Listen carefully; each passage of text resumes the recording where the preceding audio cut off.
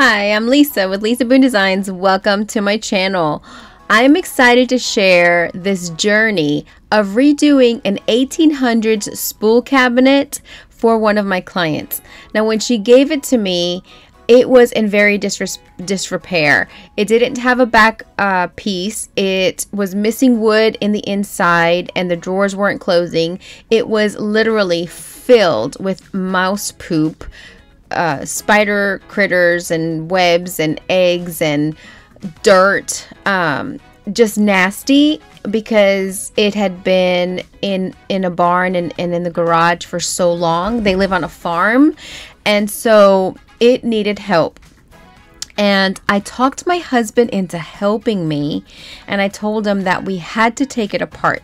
He didn't believe me until he started really looking at it, and he's like, No, we could just nail it.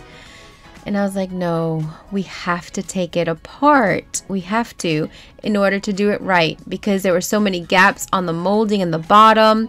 So, what we ended up doing is buying wood and measuring each piece at a time because you could see that there was um, the wood didn't go all the way back. So we got these clips and we connected the original wood with the new wood and that enabled the drawers to go all the way and not fall. So that was really good. And he started getting confident and excited. We glued it all back together, the frame, we nailed it into place, and it started becoming a lot more sturdy. Now, this piece was filthy, filthy, like I said, and so it, it required a lot of cleaning.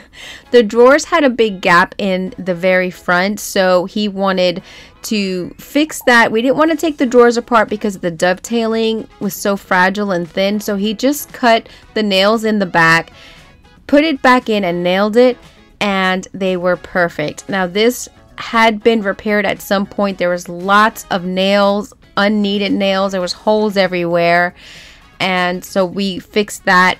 We took off the original hardware because it they were shattered and in pieces and it wasn't incomplete. And then we started cleaning and cleaning and cleaning some more, and then cleaning a little bit more. I used TSP mixed with water. I used Krud Kutter, I used vinegar and water and blue dawn, and a lot of rinsing with fresh water until I thought it was clean enough that I could start working with it. The drawers were crusted with mouse poop, and so we had to scrape it and vacuum it, and it was nasty. I used Barkeeper's Friend on the plaques. I was trying to see how clean I could get them, and I wasn't able to restore them. But this is an 1800s piece. I am always of the opinion that it doesn't need to be perfect. These drawers have gorgeous details on it. The dovetailing, the details and on, on the front, just there's it's just such a beautiful piece. And the top broke in three pieces and so there was a lot of dirt that went inside on there and then also inside of the drawers because there was a missing back. So after cleaning it and scraping it, um, then I was able to go ahead and start working on it.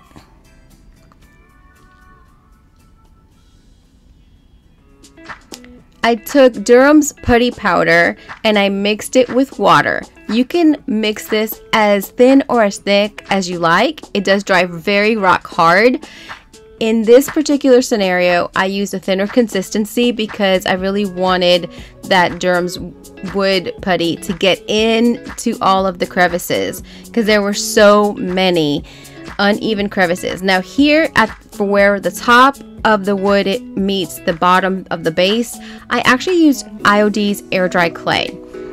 After I had put the putty powder and sanded it down, I put a big patch, as you can see here, of putty again because there were so many inconsistencies in that wood and it was very unleveled.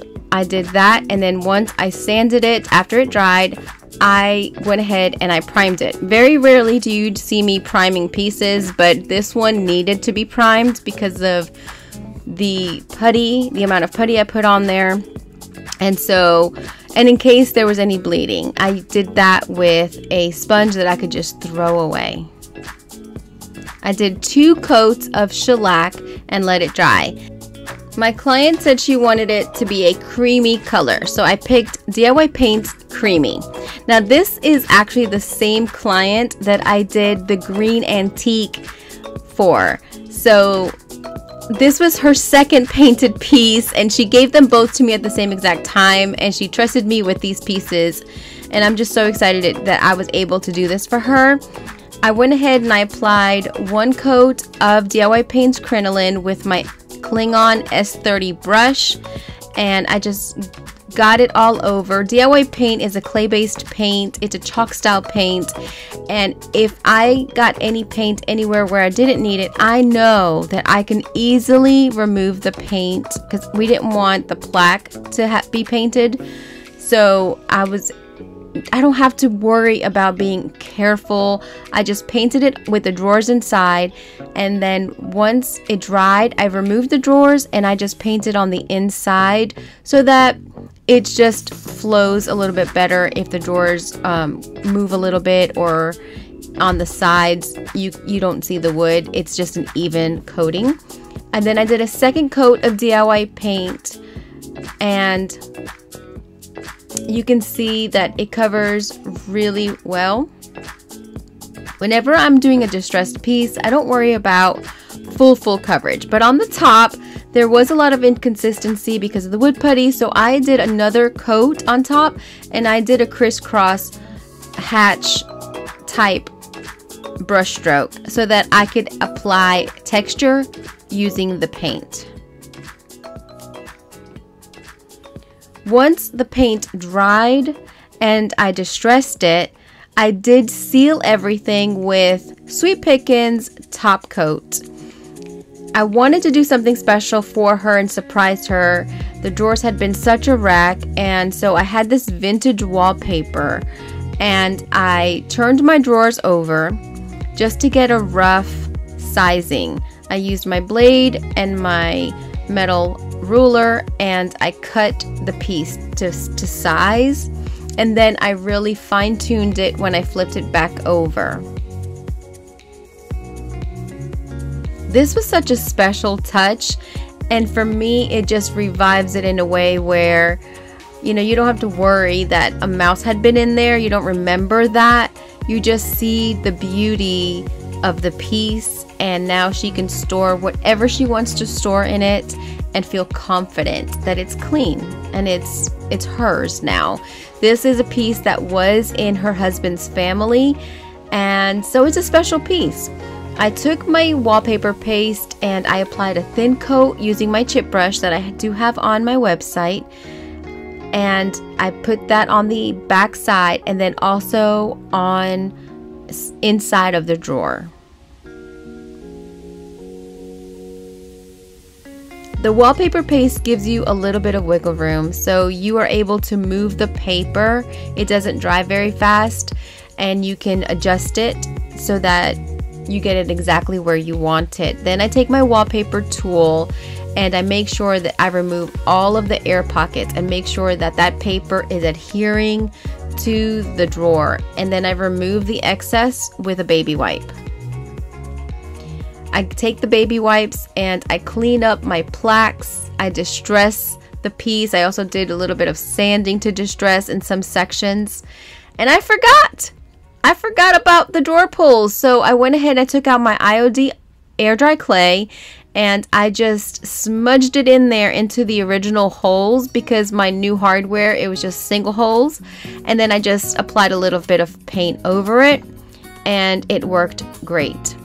I have this special tool for hardware. It just helps to get it on the same spot. I mark my spots, I drill my hole, and then I get my husband to help me twist it because I can't do that twisting motion. Let's look back at what it looked like before. And now let's look at this. Distressed in all the right places. It totally fits the piece, doesn't it? Let me know what you think in the comments. I love the hardware. It matches those plaques so perfectly. They're feminine and just beautiful. And I really love it. The creamy wallpaper background just matches perfectly with DIY Paints crinoline and it really is a beautiful piece. These pieces are so beautiful. I've seen so many kinds um, that we have had in our store and in different antique stores. If you see one, pick it up because they are really just so beautiful. And there's so many things that you can put in it. The drawers are ample, they're wide and long. What would you put in a spool cabinet? I think it would be perfect for a crafter. I love the way that it turned out. I love the way that it looks. I'm glad that she picked this creamy color. Let me know in the comments what you think. Thank you so much for watching. I so appreciate your support and your kindness. Have an incredibly blessed day. Ciao.